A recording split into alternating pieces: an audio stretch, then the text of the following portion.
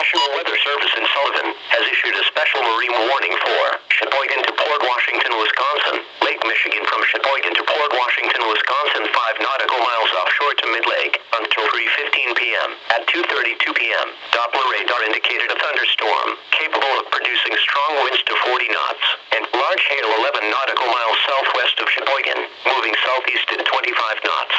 This severe thunderstorm will pass near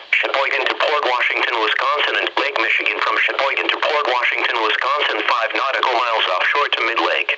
Mariners can expect strong winds to 40 knots, large hail, high waves, dangerous lightning, and heavy rains. Boaters should seek safe harbor immediately.